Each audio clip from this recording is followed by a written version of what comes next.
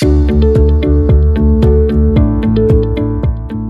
Manitoba Moose are lucky to call the city of Winnipeg and the province of Manitoba home.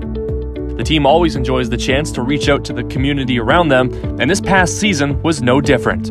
We hope the interactions with fans in places like schools, rinks, military bases, backyards, and more made as positive an impact in the community as it did in our locker room.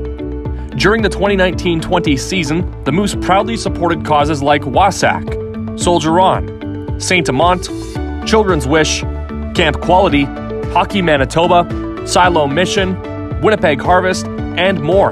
We truly enjoy raising funds and awareness for these many worthy causes. Thank you to the province of Manitoba for all the support. We look forward to seeing you again next season.